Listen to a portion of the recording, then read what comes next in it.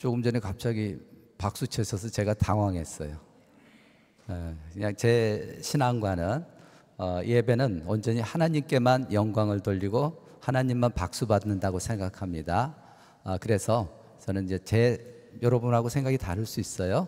어, 그래서 예배 시간에는 저는 이제 하나님 외에는 박수를 잘 안 칩니다. 그래서 여러분이 박수를 쳐주셨는데 일어나서 인사를 드려야 되는데 어, 그냥 인사드리지 못한 거 양해해 주시기 바랍니다. 괜히 어저 건방져졌네 그러지 마시고요. 네. 어, 먼저 예수님 이름으로 오신 여러분을 환영하고요. 음, 이제 얼굴들이 이제 많이 낯이 익네요. 그죠? 어, 많이 만나고 하니까 참 감사한 것 같습니다. 근데 여러분 생각하기에 저 천국, 하나님이 계시는 천국에는 슬픔이 있을 것 같습니까? 슬픔. 하나님이 계시는 저 천국에는 눈물이 있을까요? 하나님이 계신 저 천국에는 한탄이 있을까요? 예. 우리는 현재 살아가는 이 세상에는 슬픔도 있고 눈물도 있고 한탄도 있지만 저 천국에는 슬픔과 눈물과 한탄이 없다고 생각하고 인내하면서 신앙생활 하는 것이죠. 소망을 가지고 신앙생활 하는 것이죠. 그런데 저는 이런 엉뚱한 생각을 해봤어요. 우리 하나님께서 저 천국에서 계시면서 오늘날 우리의 교회를 내려다 보시면서 하나님께서 저 천국에 계시면서 우리 성도들의 신앙생활을 내려다 보시면서 어떤 생각을 하실까? 우리의 교회를 내려다 보시고 우리 성도들의 신앙생활을 내려다 보시고 우실 것 같아요. 한탄하실 것 같아요. 슬퍼하실 것 같아요. 왜 그럴까요? 오늘날 교회의 현실이 어떻습니까? 교회 생활에 익숙한 성도를 양성하는 교회. 뭐가 없어졌어요? 복음이 없어요. 또 오늘날 교회는 어떻습니까? 구원의 확신에만 머물러 있는 성도들. 뭐가 없어요? 예수 그리스도를 닮아가려는 양육이 없어요. 올라토 교회는 어떻습니까? 우리끼리 모여서 재밌게 신앙생활해요. 교회가 마치 유람선의 역할을 해요. 죽어가는 저들에게 구조선의 역할을 못하고 있어요. 전도의 긴박성이 없어요. 외적인 양적인 숫자의 성장을 교회의 부흥으로 간주하고 있어요. 안 그런 척하지만 숫자가 많으면 부흥된 교회고 하나님의 은혜와 축복을 받은 교회라고 우리는 간주하는 경향이 있어요. 영적인 질적인 성장에 대해서는 별로 관심을 갖지 않아요. 교회에서 교회 간에 나누어서 분파가 생기고 싸우는 그런 현실의 우리 교회의 모습들. 교회 안에서 세상적인 원리와 지식이 들어와서 교회를 지배하고 운영하는 것들. 경영학의 기법이 들어오고 인본주의가 들어오고 이런 교회의 모습을 보면 우리가 세상을 걱정해야 되는데 세상이 우리를 걱정하고 있어요. 이런 모습을 보면 우리 하나님 눈물 나실 것 같아요. 우리 성도들의 현실은 어떻습니까? 예수를 믿는다고 큰 소리로 외치지만 예수님의 삶과는 동떨어진 삶을 살고 있는 우리들. 예수님께서 생각하시고 예수님께서 말씀하시고 예수님의 행동과는 전혀 동떨어진 신앙생활. 그러면서 우리는 예수를 믿는다고 고백하죠. 신행에 불일치한 모습을 보이는 우리들. 교회를 신앙생활하면서 일정한 선을 거놓고 그거 이상은 희생과 봉사를 꺼리는 우리 성도들의 모습들. 요 정도까지만 나는 봉사하겠습니다. 요 정도까지만 희생하겠습니다. 열정과 우선순위에서 예수님을 닮지 않은 우리들의 모습들. 우리들의 성도들의 신앙생활의 모습을 보면 하나님께서는 한탄하실 것 같은 생각이 듭니다. 제가 왜 이런 생각을 할까요? 왜 교회의 모습과 우리 성도들의 모습을 보고 하나님께서는 슬퍼하시고 한탄할까요? 뭐 여러 가지 이유가 있겠죠. 신학자들 나름대로 진단하겠지만 저는 그 이유가 한마디로 말해서 영적 성숙의 미흡이라고 생각합니다. 우리 성도들의 영적 성숙이 결핍되었기 때문에 결국 성도들의 신앙이 다 합친 게 우리 교회의 영적인 수준이잖아요. 영적인 성숙의 결핍으로 인해서 하나님께 눈물 짓게 하는 것이 오늘날 현실이 아닌가 생각해 봅니다. 오늘날 한국 교회를 포함한 세계 교회에서 믿는 자의 숫자는 정체되었거나 줄어드는 건 사실입니다. 그러나 과거에 비해서 매우 공격적으로 어, 선교를 했기 때문에 믿는 자의 양적인 숫자는 엄청 많이 늘었습니다. 근데 아직도 우리는 뭘 사모하고 있어요? 초대 교회를 사모하고 있어요. 아직도 우리는 뭐예요? again 1907년 평양 대부흥을 지금도 얘기하고 있다는 얘기예요. 얘기는 뭡니까? 아직도 우리는 영적 성숙의 결핍 속에서 신앙생활을 하고 있다는 얘기죠. 사람들은 머릿속으로 말로만 예수 그리스도의 생각, 예수 그리스도의 진리를 생각하고 말로만 우리가 떠들고 있습니다. 그런데 우리들의 삶 속에는 예수 그리스도를 닮은 구석이 별로 없다는 얘기예요. 이런 우리들의 모습을 보면 하나님께서는 참 슬퍼하시겠다라고 나름대로 생각해 봅니다. 왜 오늘날 교회와 우리들의 성도들의 모습이 이렇게 됐을까요? 한마디로 말하면 제가 생각하기 제자가 예수님의 진정한 제자가 부족해서 그렇다고 생각합니다. 예수님의 참 제자가 부족하기 때문에 우리들의 영적인 성숙이 많이 낮고 그 결과 우리 교회도 세상에 빛이 됐고 소금이 되는 역할을 못하고 있다고 저는 생각합니다. 제자의 부족에 어, 기인하다고 생각하는 거죠. 오늘 설교의 주제와 내용이 바로 이겁니다. 예수님의 참 제자가 된다는 게 도대체 무엇인가? 예수님의 참 제자가 되기 위해서는 우리가 어떤 조건을 구비해야 되는가? 예수님의 참제자가 되기 위해서는 우리가 어떤 사명을 감당해야 되는가? 이런 내용을 오늘 설교 주제와 내용으로 어, 살펴볼까 합니다. 예수님은요, 제자도에, 대해서 복음서에서 끊임없이 말씀하고 계세요. 그 내용들을 정리해보면 한 세 가지 정도가 될 것 같아요. 너희가 나의 참 제자가 되기 위해서는 이런 비용을 지불하고 이런 희생을 감내해야 돼. 제자의 되는 전제 조건을 말씀하고 계십니다. 너희가 나 차, 나의 참 제자가 되기 위해서는 이런 이런 사명을 세상에서 펼쳐 보여야 돼. 제자가 감당해야 될 사명에 대해서 말씀하십니다. 그리고 실질적으로 예수님께서 제자들을 부르시는 모습들이 복음서에 잘 나타나고 있습니다. 오늘 설교의 초점은요, 이 세 가지 중에서 예수 그리스도의 제자가 되기 위해서 지불해야 될 비용과 감내해야 될 희생에 대해서 한번 살펴볼까 합니다. 항상 그렇지만 제 설교에서 항상 강조하지만 여러분 이 설교를 들으시면서 좀 마음을 열고 들으셨으면 좋겠어요. 지식적으로 듣지 말란 얘기예요. 아, 오늘 김 목사가 예수님의 참 제자가 되기 위해서는 1번, 2번, 3번 이렇게 조건을 말씀할 거예요. 그럼 열심히 받아 적죠? 여러분 나중에 천국에 가면 시험 봅니까? 예수님이 참 제자 조건 세 가지를 논술 하시오. 그렇게 시험 봅니까? 그건 아니에요. 제가 말씀드리는 예수님의 참 제자의 조건을 여러분의 신앙의 현재 상태와 비교해 보시기 바랍니다. 나는 과연 예수님이 원하시는 그 조건에 충족하는 신앙생활을 하고 있는가? 그렇다면 그것을 달성하고 유지하기 위해서 계속 노력하시면 되고 그렇지 않다면 그 간격을 우리가 줄여겠다고 오늘 결단하는 그런 예배 시간이 되었으면 좋겠습니다. 예수님의 참 제자가 되기 위해서는 예수님께서 너희들 이런 비용을 지불해야 돼, 이런 희생을 감내해야 돼, 여러 가지 조건을 말씀하십니다. 이 조건을 본격적으로 말씀하기 전에 제자와 교인에 대해서 한번 차, 어, 차이를 살펴볼까 합니다. 제자와 교인. 교인이라는 것은 교회의 등록 카드에 이름을 적은 자가 교인입니다. 여러분은 한빛교회 공동체 교인이시죠? 장로님만 이해하시네요. 다른 교회에서 오셨어요? 음. 여러분은 등, 교회 카드에 등록하셨잖아요. 교회 카드에 등록, 즉 등록 교인이 되는데 힘드시던가요? 그냥 조금 뭐 기록하는데 별로 어려움이 없던가요? 예, 등록 교인이 되는데 크게 어려움이 없어요. 물론 여러 가지 여러 교회를 우리가 찾아보고 내가 마지막에 이 교회 교인으로 살겠습니다. 신앙생활 했습니다. 그 결단하는 과정에 약간의 고민은 있을 수 있지만 등록 카드에 사인하는데 그렇게 어려움이 없어요. 그러나 제자가 되는 건 달라요. 등록 교인이 제자가 되기 위해서는 막대한 비용을 지불해야 돼요. 막대한 희생이 필요하다는 얘기예요. 모든 제자는 등록 교인이지만 모든 등록 교인은 제자가 아니에요. 여러분 영적으로 착각하시면 안 돼요. 나 한빛교회 공동체 등록 교인이야. 나 교회에서 직분도 있어. 나 주일 주일 성수 열심히 해. 11조 열심히 해. 헌금 많이 해.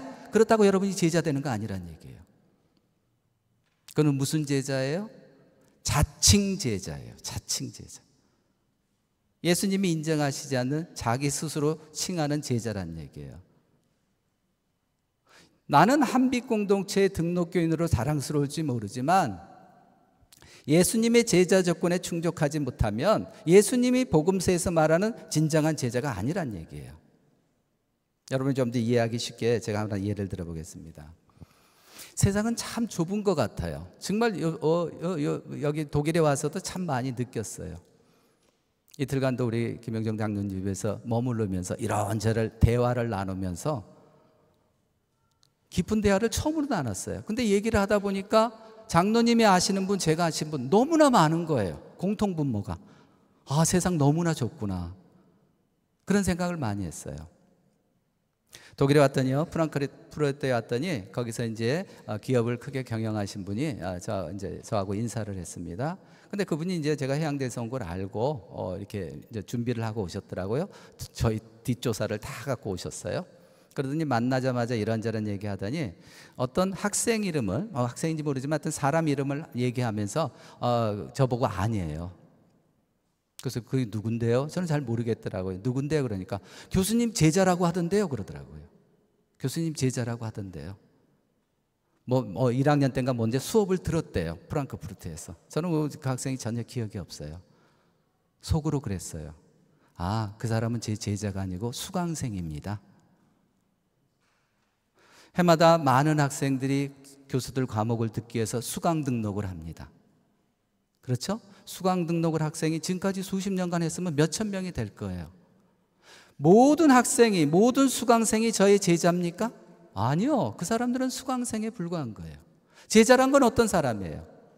저와 긴밀한 관계를 맺고 저의 생각과 학문적인 깊이를 서로 이해하고 그 다음에 제가 가르친 것을 또 배우고 자기도 그걸 공부해 나가고 그런 과정을 겪어야지만 그 사람이 제자인 것이죠. 그 사람은 단순하게 뭐예요? 제 수강 등록생에 불과한 거예요. 마찬가지예요. 여러분이 한빛교회 공동체의 등록교인이라고 해서 반드시 제자는 아니란 얘기예요. 왜 이 얘기예요?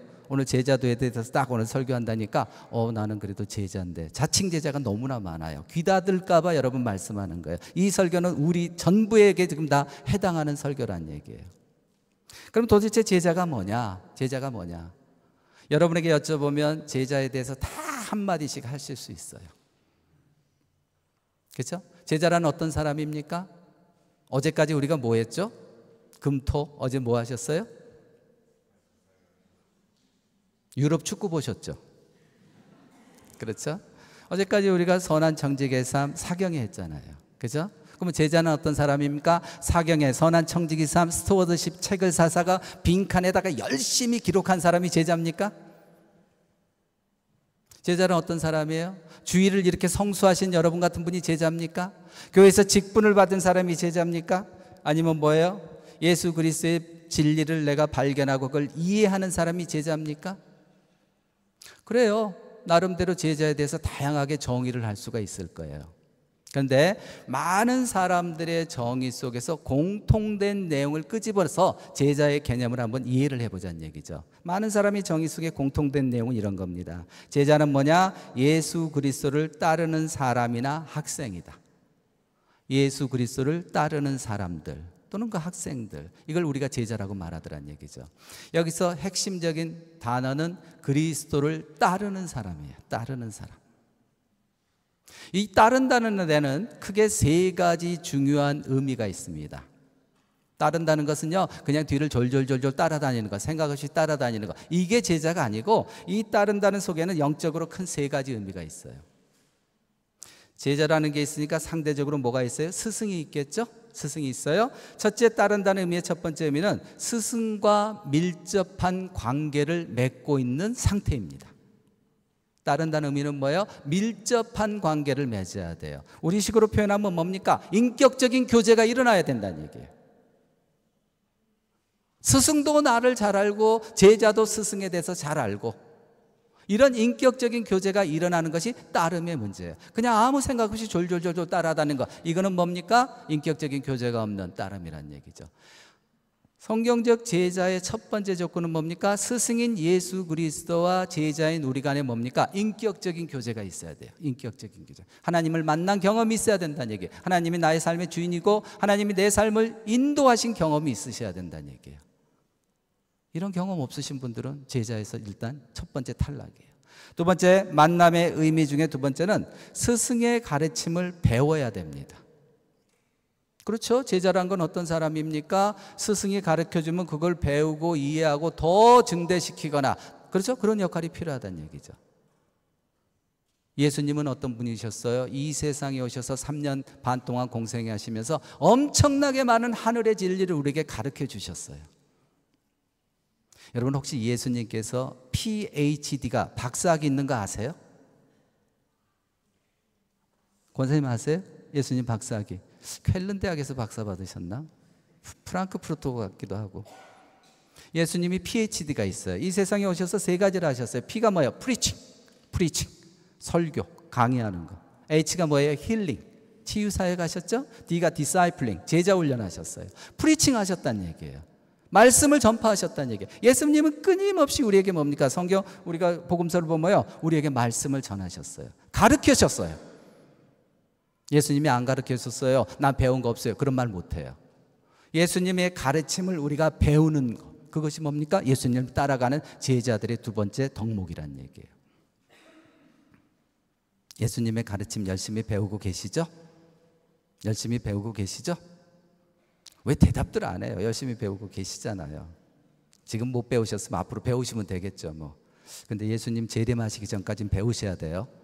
네, 언제 오실지는 잘 모르지만 예수님의 가르침을 열심히 배우는 사람 이것이 예수님과의 따름의 문제라는 얘기죠. 마지막 세 번째는요 스승의 가르침을 뭡니까 보고 이해하고 세상에서 그렇게 살아들이는 사람 그게 따름의 의미예요. 따른다는 의미는 뭡니까? 하나님께서 예수님께서 우리에게 가르쳐 준 것을요 공부하고 이해한 다음에 그대로 세상을 살아들이는 거예요. 내가 그대로 세상을 살아들이면 예수를 모르는 사람한테 영향을 미치고 예수님을 모르는 사람이 네가 믿는 예수 나도 믿겠다고 뭐가요? 영적인 재생산이 일어나야 돼요. 그래서 예수님께서 우리에게 마지막으로 말씀한 게 뭐예요? 가서 제자 삼으라라고 명령하셨잖아요. 가서 제자 삼으라는 건 전제 조건이 뭡니까? 네가 먼저 제자가 되고 그 다음에 너의 제자됨을 통해서 세상에 펼쳐봄으로써 세상 사람들도 제자 삼어라. 그 뜻 아닌가요? 반드시 뭐가 있어야 돼요? 스승의 가르침이 재생산돼야 돼요. 이게 예수님을 따르는 거예요. 예수님과 인격적인 교제가 있어야 됩니다. 예수님의 가르침에 대해서 열심히 공부해야 됩니다. 예수님의 가르침을 세상에 펼쳐보여서 예수 그리스도를 모르는 사람도 예수 그리스도를 알게끔 영적인 재생산이 있어야 돼요. 이런 분을 따르는 사람이고 이런 분을 우리가 제자라고 한다는 얘기예요. 좀 더 구체적인 내용은 뒤에 하겠지만 요까지 하고 뭐 여러분에게 다시 여쭤볼게요. 여러분은 한빛 공동체 등록 교인이십니까? 아니면 등록 교인이시면서 예수님의 제자이십니까? 제자라는 것은요, 다른 사람, 예수 그리스도와 친밀한 관계를 맺고 다른 사람들에게 예수 그리스도의 정신과 사상을 펼쳐 보이고 그래서 그 사람들도 예수 그룹의 공동체 안으로 들어오게끔 하는 것. 이게 제자의 뭐 진정한 모습이란 얘기죠.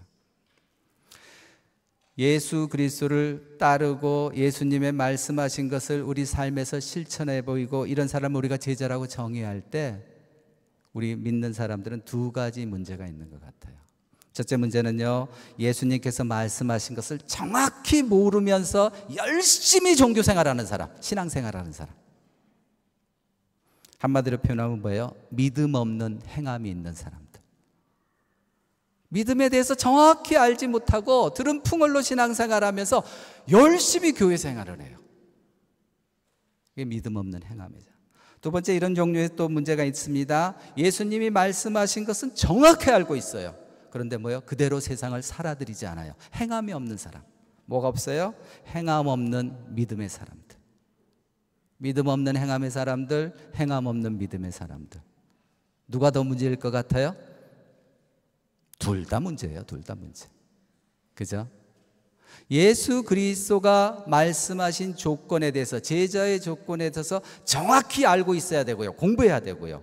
그 다음에 예수님이 말씀하신 조건을 우리가 정확히 한다면 우리가 해야 될 일은 뭐예요? 이 세상에서 그대로 살아드려야 되는 거예요. 이게 예수 그리스도의 제자가 되는 참 조건이라는 얘기죠. 약간 추상적이죠? 그러면 좀 더 구체적으로 예수 그리스도가 말씀하시는 예수님이 복음서에서 말씀하신 특히 오늘 읽었던 본문을 중심으로 예수님의 제자가 되기 위해서는 이런 이런 조건이 필요합니다. 이런 희생이 필요합니다. 이런 내용을 당신이 감내해야 됩니다. 그런 내용을 이제 구체적으로 한번 살펴보겠습니다. 근데 누가복음 우리가 읽었던 제자도에 대한 얘기의 본문의 배경을 먼저 조금 먼저 설명을 드릴게요.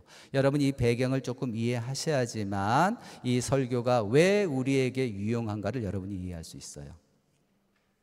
아직도 우리 중에는 아 나는 그래도 내가 열심히 신앙생활하고 교회 직분 받고 내가 어, 교회를 위해서 얼마나 헌신하는데 나는 예수의 제자야. 자칭 예수의 제자가 많단 말이에요. 그런 분들이 이 설교에 귀를 닫을 확률이 높아요. 그래서 이 본문을 말씀드리면서 이 오늘 본문의 말씀은 우리 모두에게 적용되는 말씀이라는 걸 말씀드리기 위해서 본문의 배경을 좀 말씀드릴게요. 요한복음을 보면요. 예수님께서 변화산상의 사건이 있어요. 예수님께서 변화산 사건에서 하늘의 모습으로 변했잖아요. 변화산 사건에서 변화산에서 내려오신 다음에 2년 반 동안의 갈릴리 지역 사역을 이제 마무리 지세요. 변화산 사건을 마치시고 이제 갈릴리 지역의 사역을 마치시고 어디로 가시냐면 이제 에루살렘으로 가세요. 에루살렘으로. 이제 거기 가셔서 마지막으로 십자가에 달려 돌아가시는 그 사건만 남은 거예요. 2년 반 동안의 갈릴리 사역을 마치고 이제 돌세례. 근데 에루살렘에 가는데 유대인들이 예수님을 어때요? 환영하지 않아요. 예수님을 굉장히 적대감을 나타내고 배척감을 나타내요. 그래서 세 번의 돌과 관련된 에피소드가 발생해요. 예수님을 환영하지 않다 보니까 돌을 던져서 예수님을 죽이려는 세 가지의 돌 얘기가 나옵니다. 첫 번째 돌 이야기입니다. 첫 번째 돌 이야기는 요한복음 8장 7절에 나옵니다. 여러분 간음 현장에서 잡힌 여자 얘기 아시죠? 간음하다가 현장에서 어, 여자 하나 잡아왔잖아요. 그러면 잡아왔으면 유대인들이 자기들이 알아서 처리하면 돼요. 뭐 율법에서 돌을 던져 죽이든지 용서를 해주든지 알아서 처리하면 돼요. 그런데 때요 예수님을 궁지에 빠지기 위해서 예수님을 시험하기 위해서 그 가늠하다 현장에서 잡힌 여자를 예수님 앞에 데려와요. 그리고 예수님을 시험하죠. 예수님 이런 이런 분이 가늠하다 잡혔는데 이분 어떡할래요? 이 여자 어떡할래요? 참 이렇게 대답하기도 난감하고 저렇게 대답하기도 난감한 거예요. 왜요? 예수님께서 돌로 쳐라. 모세 율법에 의하면 돌로 치게 돼 있잖아요. 돌로 쳐 죽여라. 그럼 뭐라고 또 이 사람들이 공격하겠어요? 사랑이 없네요. 사랑이 없네요. 참 뭐 사랑의 종교라더니 사랑이 없네요. 그렇게 공격할 거고. 그러면 용서해 줘라. 그럼 이제 또 뭐라고 유대인들이 뭐라 그러겠어요? 오, 모세 율법을 어기셨네요. 이래저래 무슨 대답을 해도 이제 궁지에 빠뜨리려고 예수님을 시험하기 위해서 이제 여자를 데리고 오죠. 근데 우리 예수님께서 뭐라고 말합니까? 8장 7절에 보면 너희 중에 죄 없는 자가 먼저 돌로 쳐라. 죄 없는 사람이 있어요, 없어요? 그러니까 다 가버렸다는 얘기죠? 그래서 첫 번째 돌과 관련된 에피소드예요. 두 번째 돌과 관련된 에피소드입니다. 요한복음 8장 31절에서 59절에 나옵니다. 예수님께서 유대인들과 막 변론을 해요. 그죠? 너희가 옛날에는 노예였는데 자유의 몸이 됐다. 뭐 막 이렇게 놀, 어, 변론하니까 이제 유대인들이 뭡니까? 야, 우리가 노예가 된 적이 없는데 무슨 소리냐고 변론하다가 예수님께서 이렇게 말씀하십니다. 내가 너희들의 조상 아브라함보다 먼저 있었다. 아브라함 이전에 내가 있었다. 아브라함이 나를 봤다. 그렇게 이제 말씀하는 거예요. 그러니까 유대인들이 이제 딱 예수님 얼굴을 보더니 이제 기가 막힌 거예요. 50대 50대도 안 돼 보이는데 50도 안 돼 보이는데 네가 우리 조상 아브라함을 봤다는 거 말이 되냐 이런 거예요. 예수님이 그 당시에 몇 살이었어요? 30대 언제 30대 30뭐 30세 뭐 이랬잖아요. 그런데 예수님의 얼굴이 많이 늙으셨나 봐요. 50대도 안 돼 보인다. 사람이 그렇게 평가한 거예요. 그러면서 예수님을 갖다가 뭡니까? 아브라함보다 먼저 있었다니까 돌로 쳐서 죽일라 그래요.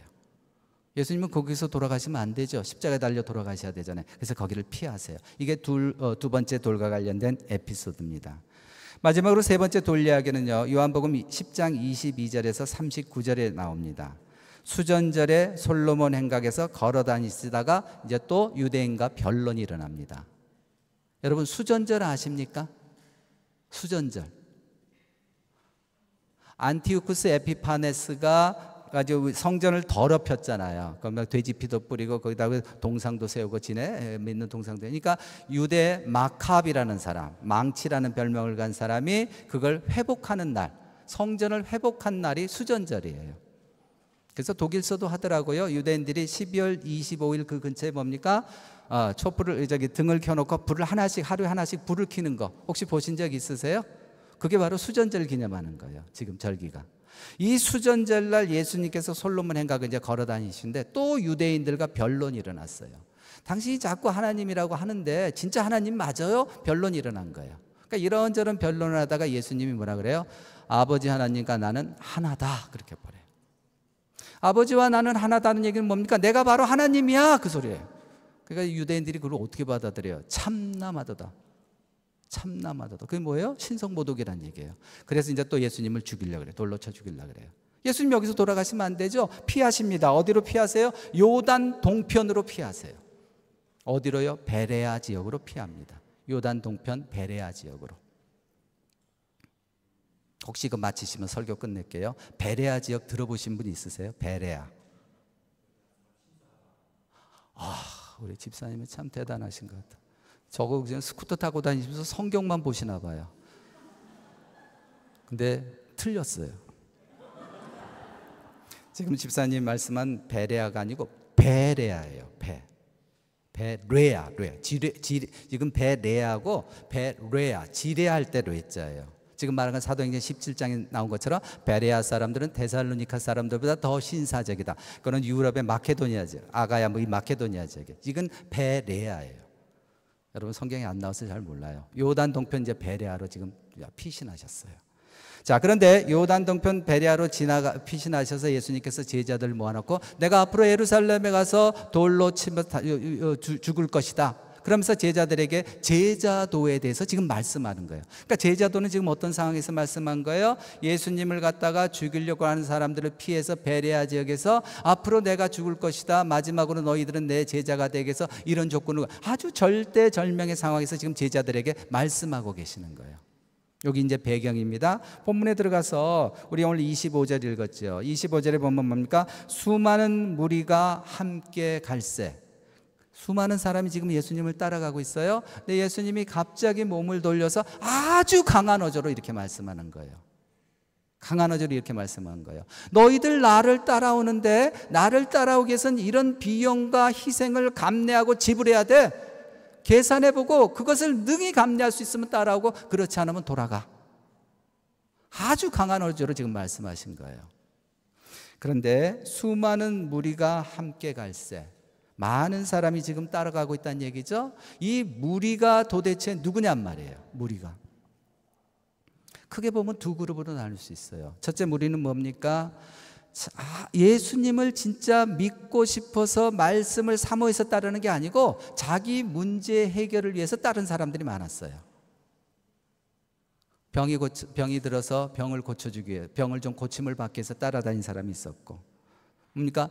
어떤 사람은 또 뭐가 많은 사람이 따라가니까 저기 뭐야 하고 호기심에 따라가는 사람도 있었고 예수님을 따라다니면 뭔가 생길 게 있다고 현실적인 이익이 있어서 따라다니는 사람들 이런 사람이 보통 우리가 말하는 군중들이에요 군중들. 자기의 야망과 욕심을 채우기 위해서 예수를 따라다니는 사람 그게 한 그룹이었어요.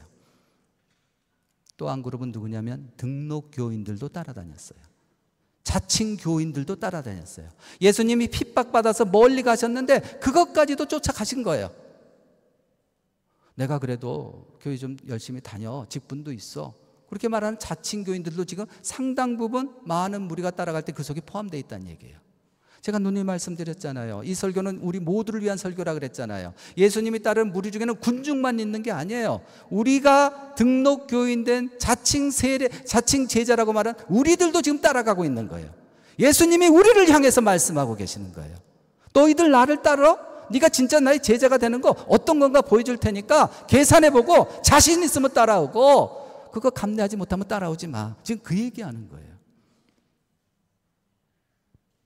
우리에게 적용되는 지금 말씀이에요. 말씀이에요. 그러니까 귀 닫지 마시란 얘기예요. 그러면서 이제 세 가지 얘기를 하죠. 내 제자가 되게선 이런 이런 비용을 지불해야 돼. 내 제자가 되게선 이런 이런 희생을 감내해야 돼. 세 가지를 말씀하신데 그 패턴이 똑같아요. 너희가 뭐뭐 하지 아니하면 내 제자가 될 수 없다. 뭐뭐 하지 아니하면 내 제자가 될 수 없다. 첫 번째 조건 한번 볼까요? 26절입니다. 26절 한번 띄워 주시고 같이 한번 읽겠습니다. 26절이요. 예, 시작. 무릇 내게 오는 자가 자기 부모와 처자와 형제와 자매와 더욱이 자기 목숨까지 미워하지 않으면 능히 내 제자가 되지 못하고 아 이것만 읽으면 참 이거 진짜 우리 진짜 예수 믿어야 돼요. 예수의 제자가 되기 위해서는 첫째 누굴 미워하래요? 부모님 미워하래요. 두 번째 누굴 미워하래요? 처자를 미워. 처자가 뭐예요? 아내하고 부인, 어, 야, 부인이라고 호칭하시네요. 어, 아내하고 자식들을 미워하래요. 그리고 누구예요? 형제 자매도 미워하래요. 그리고 마지막에 누구까지 미워해요? 내 목숨까지 나를 미워하래요. 아니 예수를 믿는 기독교는 사랑의 종교인데 뭘 미워해요? 미워해야지만 예수님의 제자가 될 수 있어요? 만일에 이게 진짜 어떻게 해석이 제대로 안 돼서 이게 진짜라면 우리는 어때요? 아유 다음 주부터 안 나오는 게 좋을 것 같아요. 그죠? 종교를 개종하시는 게 좋을 것 같아요. 여기서 자기 부모나 처자와 형제와 자매와 자기 목숨을 미워하란 얘기는 문자적으로 미워하란 얘기가 아니에요. 예수님보다 더 사랑하면 안 된다. 그런 말의 표현이에요. 부모보다 나를 더 사랑하면 그럼 이제 예수의 제자가 될 수 있다. 얘기예요. 예수님보다 부모나 처자나 형제나 자매나 나 자신을 사랑하면 우리는 예수의 제자가 될 수 없다는 얘기예요. 예수 우선순위의 사랑을 지금 말씀하고 계신 거예요. 부모를 미워해서는 안 돼요. 우리는 어때요? 부모님, 처자, 형제, 자매, 내 목숨을 사랑해야 돼요? 미워해야 돼요? 사랑해야 돼요. 근데 누구 다음으로 사랑하라는 얘기예요? 예수님 다음으로. 지금 그 표현이에요. 예수님을 가장 먼저 사랑하고 그 다음에 부모님도 사랑하고 처자도 사랑하고 뭐요? 내 자신도 사랑하란 얘기예요. 우리가 실제로 신앙생활하거나 세상 살면서 어떻습니까? 어쩔 경우는요 예수님보다 자녀를 더 사랑하는 경우가 많이 있어요. 그렇죠? 자식이 우상이 되는 경우 많이 있잖아요. 예수님보다 배우자를 더 사랑하는 경우가 많이 있어요. 없으세요? 저는 많아요. 저는 제 배우자 사랑해요. 우리는 때때로 나의 혈연, 내 자신이 때때로는 예수님보다 더 많은 사랑을 우리가 표현한 경우가 있다는 얘기예요. 이러면 결코 예수 그리스도의 제자가 될 수 없다는 얘기예요. 여러분 한번 냉정히 생각해 보십시오. 여러분의 혈연 관계들, 여러분 자신을 포함해서 예수님보다 내가 누구를 예수님과 그들을 비교했을 때 누구를 더 사랑하는가? 어떤 중요한 의사 결정을 내려야 될 때 누구의 편을 들어주는가? 여러분 혹시 여기 한국 여기 독일은 모르겠지만 한국 같으면 뭐 고2, 고3 되면은 예비고사 뭐, 뭐 학력고사 이런 거 본다고 정신 없잖아요. 그러면 주일이 되면 보통 뭐라 그래요? 학원도 가야 되고 하니까 주일이 되면 어떠 그래요? 부모님들이 보통 그래 대학교 갈 때까지만 당분간 교회 가지 마. 대학교 가면 가면 되지 뭐. 그건 뭐예요? 자녀들을 예수님보다 더 사랑하는 거 아니에요? 네, 아주 중요한 일이 나에게 사업상 중요한 일이 있어요. 그 일을 꼭 해야지만 내가 큰 돈을 벌 수 있어요. 근데 그게 주일이에요. 그죠? 그럼 어때요? 교회를 가야 되는지 이 사업을 해야 되는지 고민될 수 있잖아요. 그럼 우리는 어때요? 조금 고민하다가 스스로 없이 돈을 택한다. 그럼 내 자신을 예수님보다 더 사랑하는 거 아닌가요? 그래서는 예수의 제자가 될 수 없다는 얘기예요. 예수님 우선순위의 사랑이 첫 번째 우리가 지불해야 될 비용이란 얘기 예수 그리스도의 제자가 되게 한 첫 번째 지불 비용입니다. 두 번째 예수님께서는 예수님의 제자가 되게 해서 지불 비용 두 번째를 요구합니다. 그게 27절입니다. 27절. 같이 한번 읽겠습니다. 시작. 자기 십자가를 지고 나를 따르지 않는 자도 능히 내 제자가 되지 못하리라. 예수님의 제자가 되기 위해서 예수님은 두 가지 조건을 말씀하세요. 여기서. 첫째는 뭡니까? 자기 십자가를 져야 돼요. 여기서 자기는 우리 본인을 말하는 거예요. 우리 스스로 우리의 십자가를 져야 돼요. 두 번째는 뭡니까? 나를 따르지 않으면 예수님을 따라야 돼요. 이 두 가지 요건을 구비했을 때 예수 그리스도의 제자가 될 수 있다는 얘기죠. 자기 십자가를 진다. 먼저 자기 십자가를 진다는 개념을 설명하기 전에 십자가에 대해서 십자가형에 대해서 우리가 한번 생각해 보죠. 당시에 십자가라는 말은 예수님께서 십자가를 지라라고 제자들에게 말할 때, 그 무리들에게 말할 때, 이 십자가라는 말은 아주 혁명적인, 충격적인 단어였어요. 그 말을 들은 유대인들은 굉장히 기분도 나빴을 거고, 그 말을 들은 유대인들은 그것을 이해하지 못했을 거예요. 여러분, 십자가형이란 건 어, 어떤 겁니까? 로마 사람들이 유대인에게만 적용했던 최악의 형벌 방법이에요. 로마 사람에게 적용을 안 해요. 유대인이 뭔가 잘못하면 재판소에서 당신은 십자가형에 처합니다. 그러면 십자가형에 처한 유대인은 자기 의지로 할 수 있는 게 아무것도 없어요. 로마 법정에서 시킨 대로만 하는 거예요. 그럼 어때요? 옆으로 된 거, 횡목이라 그러죠? 횡목을 이제 한 30km, 40km 되는 횡목을 어때요? 등에 지고 이제 십자가 어, 사형장으로 가는 거예요. 힘들게 걸어가면 어때요? 거기에서 우리가 종목이 있어요. 세로목이죠? 거기 이미 박혀 있어요. 그러면 그걸 합쳐서 이제 십자가형을 처하는 거예요. 가장 잔인하고 사람을 죽여도 고통을 그렇게 최하, 최대화시키는 그런 형벌이에요. 그런데 너희가 그 십자가를 쳐야지만 내 제자가 될 수 있다. 그러니까 그 듣는 유대인들 제자들은 어때요? 무리들은 아 이게 그냥 충격적인 거예요. 그러면 도대체 십자가를 지라는 자기의 십자가를 지라는 의미가 도대체 뭘까요? 이런 끔찍한 십자가를 져야지만 우리가 예수 그리스도의 제자가 된다고 말씀하십니다. 우리 여성분들은 십자가를 많이 지금 지고 계신가요? 앞에 계신가요? 제가 말씀드렸죠. 등으로 돌리셔야 돼요. 지셔야 돼요.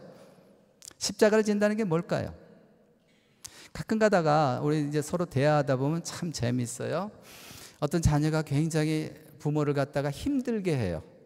그럼 뭐라 그래요? 주변 사람들한테. 아우, 제가 제 십자가예요. 저놈이 제 십자가예요. 아우, 쟤 때문에 힘, 그러니까 힘든 애를 보고 힘든 사람 보고 우리가 보통 십자가라고 표현 많이 하죠. 며느리들에게 대부분의 십자가는 누구예요? 시어머니. 아, 우리 어머니가 나의 십자가예요. 나의 십자가예요. 며느리가 또는 시어머니가 여러분 십자가세요? 여러분을 힘들게 하는 그런 자녀분들이 여러분 십자가세요? 성도는 목사의 십자가인가요? 우리는 보통 십자가라고 하면 보통 얘기하면 뭡니까? 나를 힘들게 하는 사람들. 나를 힘들게 처하는 환경들. 나를 힘들게 하는 일들 이걸 갖다 우리는 십자가라 그래요. 하나님이 나의 운명으로서 십자가를 주셨나 봐요. 그렇게 해요. 그게 십자가 결코 아니란 얘기예요. 자기 십자가를 진다는 얘기가 도대체 뭐냐? 우리 누가복음에는 안 나왔는데 이 병행 구절이 동일한 구절이 마태복음 16장 24절하고 마가복음 8장 34절에 나와요. 써놓고 나중에 보세요. 마태복음 16장 24절과 마가복음 8장 34절에 나옵니다. 제가 읽어드릴게요. 누구든지 나를 따라오거든 누가 복음에는 없는 거예요. 자기를 부인하고 자기 십자가를 지고 나를 따르. 뭐래요? 자기를 부인하래요. 자기를 부인하래요. 자기를 부인한다는 얘기는 뭡니까? 내 중심적인 사, 중심적인 삶을 포기하란 얘기예요. 에고를 죽이란 얘기예요. 내 삶의 주인은 하나님이십니다를 고백하란 얘기예요. 그게 자기 십자가를 짓는 거예요. 아까 말씀드렸죠. 로마 사람들이 유대인에게 당신은 십자가형에 처합니다. 그러면 오로지 유대인들은 자기 뜻대로 할 수 있는 게 아무것도 없다는 얘기예요. 그게 십자가형의 특징이에요. 내가 십자가를 진다는 얘기는 뭐예요? 내 삶의 주인은 하나님이십니다. 이걸 고백하라는 얘기예요. 내 뜻을 하나님 뜻에 굴복시키는 거, 이게 십자가를 지는 거예요. 대표적으로 우리가 잘 아는 게 뭡니까? 여러분이 좋아하시는 갈라디아 2장 20절 말씀 아니에요? 내가 그리스도와 함께 십자가에 못 박혔나니. 그런즉 이제는 내가 사는 것이 아니요 오직 내 안에 그리스도께서 사신 것이라. 이제 내가 육체 가운데 사는 것은 나를 사랑하사 나를 위하여 자기 자신을 버리신 하나님의 아들을 믿는 믿음 하나님의 아들의 믿음을 그걸로 세상을 사는 거예요. 이제 우리는 죽었어요. 우리 안에 내주하는 성령님, 예수님, 하나님의 힘으로 세상을 사는 것. 이것이 바로 뭐예요? 자기 십자가를 지는 거예요. 우리 교회 공동체도 십자가를 져야 되겠죠? 우리 교회 공동체의 주인은 누구예요? 일 대표님? 운영위원들? 임원들? 아니요. 하나님이시잖아요. 예수님이시잖아요. 그게 십자가를 지는. 자기 십자가를 지고의 의미는 뭡니까? 자기를 부인해야지만 십자가를 질 수 있어요. 나는 죽었어요. 내 삶의 주인은 하나입니다. 이게 우리 신앙생활에서 가장 중요한 뭡니까? 주인 바꾸기예요. 주인 바꾸기. 내 삶의 주인은 나에서 내 삶의 주인은 하나님이라고 고백할 때 우리는 자기 십자가를 지는 그런 사람만 예수님의 제자가 될 수 있다는 얘기예요. 두 번째 예수님은 자기 십자가를 지고 뭐라 그랬어요? 예수님을 따르라 그랬어요. 예수님을 따른 자만이 뭐가 된다는 얘기예요? 예수님의 제자가 될 수 있어요. 예수님도 철저히 당신의 십자가를 지셨죠? 예수님도 분명히 뜻이 있어요. 아까 저기서 십자가를 진다는 얘기는 내 뜻을 죽이고 하나님 뜻대로 사는 것이 십자가를 진다고 말씀하셨잖아요. 말씀드렸잖아요. 예수님의 우리 겟세만의 등산에서 예수님의 뜻은 뭐예요? 예수님이 원하신 건 뭐예요? 이 잔을 안 마시고 싶습니다. 하나님 너무나 두렵습니다. 아주 인성의 마음을 표현한 거죠. 하나님 이 잔 안 마실 수 있으면 안 마시면 좋겠습니다. 근데 우리 하나님의 뜻은 뭐였어요? 마셔 마셔야지만 십자가에 달려 돌아가시지만 우리가 구원받을 수 있잖아요. 하나님의 뜻은 십자가에서 돌아가시기를 원하셨어요. 근데 예수님은 자기 뜻을 죽이시고 하나님의 뜻에 복종하셨죠. 자기 십자가를 지신 거예요. 예수님이 십자가에 달려 돌아가시면 어떻습니까? 궁극적으로 예수 그리스도가 우리를 위해서 돌아가셨어요. 우리가 예수 그리스도를 위해서 우리도 죽어야 된단 말이에요. 희생해야 된단 말이에요. 예수를 믿는 것은 복 받는 길이 아니에요. 예수를 믿는 건 뭡니까? 박해받고 저주받고 고통받는 게 예수를 믿는 지름길이에요. 예수님이 우리를 위해서 십자가에 달려 돌아가셨어요. 예수님이 복 받으셨나요? 십자가에 달려 돌아가셨잖아요. 예수님의 죽음까지도 우리가 모방하고 예수님을 위해서 하나님에서 우리도 죽겠습니다. 희생을 각오하겠습니다. 이것이 바로 뭐예요? 예수를 따르는 거예요. 여러분 성경을 아무리 읽어보십시오. 우리가 예수를 믿는 이유가 세상의 현세에서 복 받는 건가? 복음이 너무 왜곡돼 있어요. 여러분 진짜 복 받고 싶으면은 우리 종교가 아니고 어디 무당 찾아가시면 돼요. 무당 찾아. 우리가 예수를 믿는다는 얘기는 예수를 따른다는 얘기는 뭡니까? 예수님이 가셨던 그 길을 우리도 걷겠습니다. 그 얘기예요. 예수님은 어떤 길을 가셨어요? 고난의 길을 가셨잖아요. 어떤 길을 가셨어요? 고통의 길을 가셨잖아요. 어떤 길을 가셨어요? 궁극적으로 죽음의 길을 가셨잖아요. 그래서 예수의 제자들이 나중에 전부 다 뭡니까?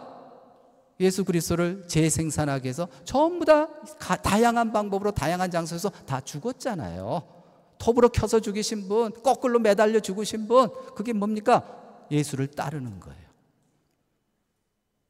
예수님이 걸어갔던 길, 우리가 가야지만 우리도 어때요? 예수의 제자가 될 수 있어요.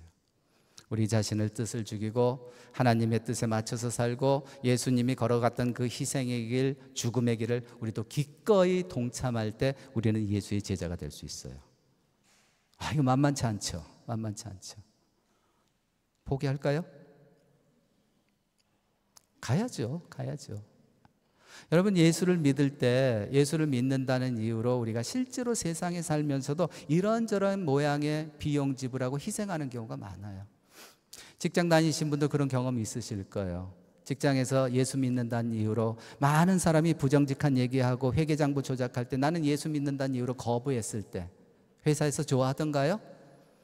승진해서 탈락시켜버리거나 아니면 어디 좌천시키거나 막 그런 우리가 불이익 당할 수 있잖아요.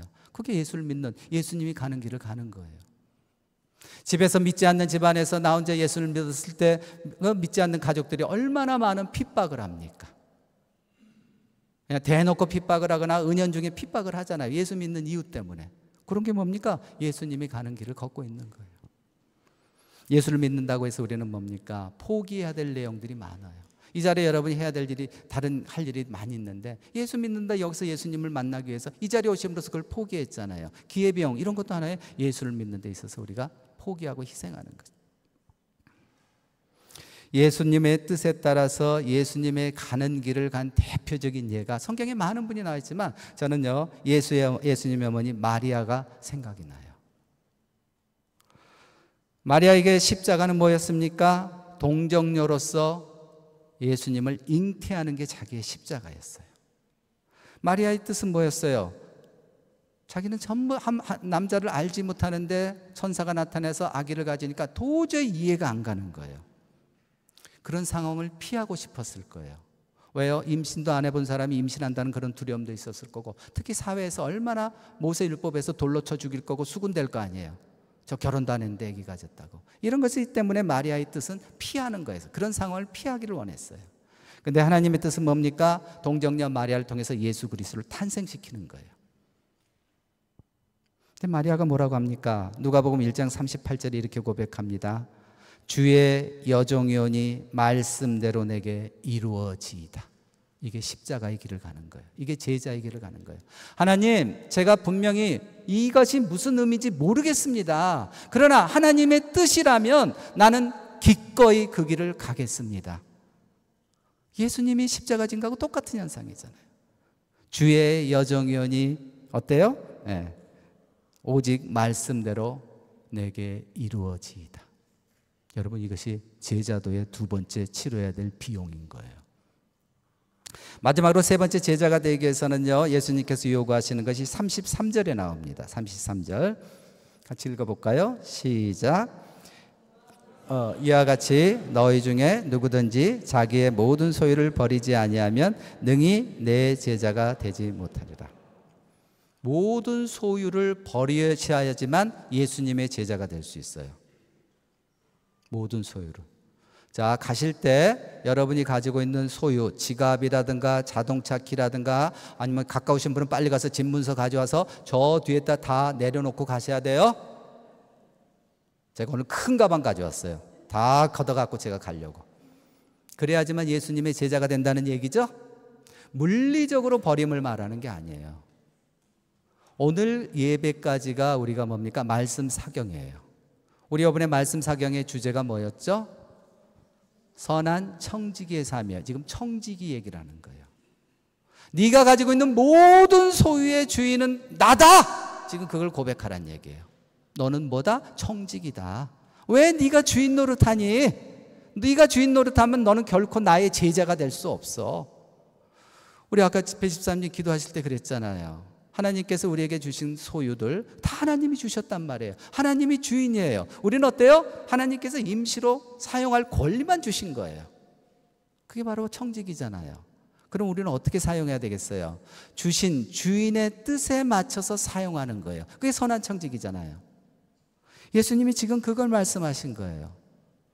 너가 가지고 있는 시간과 물질과 재물과 은사와 우리의 말씀의 메시지 다 그거 내 거야.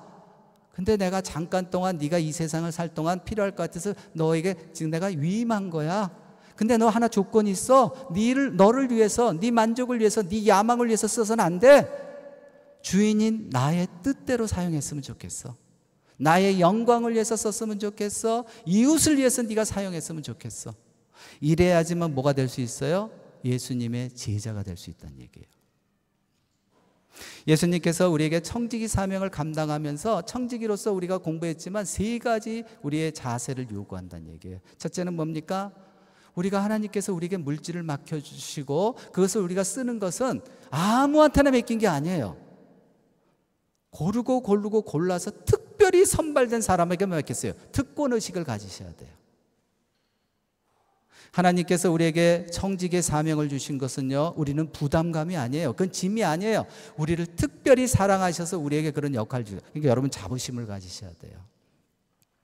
특권 의식을 가졌습니다. 그러면 하나님께서 주신 소유물을 어떻게 해야 돼요? 그냥 받아놓고 가만히 가지고 있으면 되나요? 아니요, 사용해야 돼요. 지혜롭게 충성스럽게 사용해야 돼요. 시간 지혜롭게 충성스럽게 사용해야 돼요. 하나님께서 주신 재물 충성스럽게 지혜롭게 사용하시란 말이에요. 은사도 마찬가지예요. 하나님께서 주신 것을 지혜롭게 사용하시면 반드시 나중에 결론은 또 뭐냐면 내가 원하는 대로 네가 사용했는가 반드시 내가 너 체크할 거야. 회계 감사하겠다는 얘기예요. 회계 감사. 그게 뭡니까? 회계, 어카운팅. 반드시 직고하리라. 하나님께서는요, 우리에게 재물을 주셨어요. 마지막 회개할 때 잘 썼는가 못 썼는가 판단한 기준이 있죠? 그 기준이 뭐냐면 어디에 썼는가. 누구를 위해서 썼는가? 그걸 가지고 판단한다는 얘기예요. 하나님이 원하시는 그 방향과 하나님이 원하시는 대상과 영역을 위해서 썼으면 우리는 선한 청직이에요. 그러면 예수님의 제자가 될 수 있어요. 그러나 하나님이 원하신 것과 관계없이 내 배 채우기 위해서 내 가족들만 잘 먹고 잘 살기 위해서 죽어가는 이웃에 대해서는 궁일한 마음도 전혀 없는 그런 경우는 뭡니까? 청지기는 청지기예요. 하나님이 맡기셨으니까 그러나 무슨 청지기예요? 악한 청지기예요. 악하고 게으른 종이 되는 거예요. 그런 사람은 예수님의 제자가 될 수 없다는 얘기예요. 물론 자기 소유를 버리지면 자기의 모든 소유를 버리라는 얘기는 이런 청지기 사명을 감당하는 사람만 예수님의 제자가 될 수 있다고 우리가 분명히 말할 수 있어요. 또 다른 해석도 이럴 가능해요. 나의 모든 소유를 하나님을 위해서 하나님께 드리는 경우 이것도 필요하다는 얘기예요. 우리가 한번 언제 설교했죠? 로마서 12장 1절. 너의 몸을 하나님이 기뻐하시는 거룩한 산 제물로 드려라. 우리 몸, 우리 몸을 통해서 이루어지는 모든 삶의 영역을 하나님의 영광을 위해서 드리라는 얘기예요. 내 영광과 내 야망을 위해서 드리는 게 아니고 하나님의 영광을 위해서 하나님께서 주신 내 삶을 통해서 이런 삶의 영역을 드리는 경우 이런 경우도 뭡니까? 하나님의 지혜자가 될 수 있다는 얘기예요. 말씀을 정리할까 합니다. 오늘 말씀을 통해서 예수님께서는 우리가 예수 그리스도를 따를 때 예수 그리스도가 제자가 되기 위해서는 이런 이런 비용을 지불해야 된다고 예수님이 말씀하고 계세요. 그러면서 예수님 뭐라 그래요? 네가 지불해야 될 비용, 담당해야 될 희생에 대해서 말했는데 머리 좋은 너희들 한번 계산해 봐. 그리고 네가 기꺼이 따를 만한 가치가 있고 따를 능력 있고 의지가 있다면 그럼 날 따라와. 그렇지 않다면 돌아가. 돌아가. 시간 낭비야. 물질 낭비야. 지금 예수님이 그걸 말씀하고 계시는 거예요. 제자가 되기 위해서 지불해야 될 대가를 계산해 보고 따르라고 말을 했어요. 근데 요한복음 6장 66절에 보면 이렇게 나와요. 그때부터 그의 제자 중에서 많은 사람이 떠나가고 그와 함께 다시 함께 그와 함께 다니지 아니하더라. 예수님께서 제자도의 세 가지 희생과 비용에 대해서 말하니까 많은 무리가 따라왔잖아요. 그 중에서 많은 사람들이 예수를 떠나더란 얘기예요. 왜 떠났어요? 계산해 보니까 뭐예요? 도저히 그걸 감당할 능력과 의지가 없더란 얘기예요. 근데 이 비용이 크다고 생각해서 떠난 사람들이 진정으로 부담해야 될 큰 비용이 있었어요. 그건 뭐예요? 우리가 모든 것을 바쳐서라도 구해야 될 영생과 구원을 놓쳐버린 거예요, 이 사람들은. 내가 가지고 있는 모든 것을 바쳐서라도 내가 확보해야 될 게 뭐예요? 영생이고 구원 아니에요? 영생과 구원을 확보함에 따라서 얻는 기쁨과 희망과 소망과 이런 것이 전부 다 뭡니까? 잃어버리게 됐어요. 이것처럼 큰 비용이 어디 있어요? 조그만 비용 부담이 힘들다고 해서 뭐예요? 이 사람들이 그걸 떠나다 보니까 예수님을 떠나다 보니까 예수님을 얻음으로써 예수님을 나의 주로서 구조, 어, 구원함 어, 고백함으로써 얻을 수 있는 그 큰 희생을 그 큰 이익을 다 포기해 버리더란 얘기예요. 오늘 본문의 설교는 본문 설교는 무척 어려운 설교예요. 왜 어려울까요? 본문이 난해해서 어려울까요? 본문 그렇게 난해하지 않아요. 그렇죠? 어렵지 않아요. 그냥 쉬워요. 근데 왜 어려워요? 설교가의 중에서도 설교가인 우리 예수님께서 설교하셨는데 다 떠났는데 제가 설교하면 어때요? 콧방귀도 안 끼는 거죠. 그래서 어려운 거예요. 그런데 하나님의 진리는 제자도에 관련된 진리는 2000년 전이나 지금이나 동일해요. 그건 2000년 전에 적용하는 얘기죠. 아니요. 지금도 똑같아요. 제자가 되기 위해서는 어떻습니까? 예수님을 최우선적으로 사랑해야 돼요. 두 번째 제자가 되기 위해서는 어떻습니까? 예수님의 뜻대로 예수, 예, 예수님처럼 희생적으로 살아야 돼요. 예수님의 제자가 되기 위해서는 어때야 됩니까? 모든 소유를 하나님 것으로 인정하는 청지기직의 사명을 살아야 돼요. 이거는 영원 불변의 진리예요. 여러분에게 두 가지 질문을 드리면서 설교를 마칠까 합니다. 하나는 예수님께서 드렸던 질문을 여러분에게 드려보고요. 두 번째는 제가 드리는 질문으로서 설교를 마칠까 합니다. 예수님께서 2000년 전에 따르던 사람들에게 물어보았던 동일한 질문. 많은 사람이 떠나고 일부가 남아 있었어요. 그 사람들에게 이렇게 질문합니다. 너희도 나를 떠나겠느냐? 한빛 공동체, 쾰른 한빛 공동체 등록교인들아, 너희도 나를 떠나려느냐? 예수님의 질문이십니다. 저의 질문입니다. 여러분은 단지 쾰른 한빛교회 등록 교인으로 사시겠습니까? 아니면 쾰른 한빛교회 등록 교인이면서 예수님의 참 제자로 사시겠습니까? 기도하시겠습니다.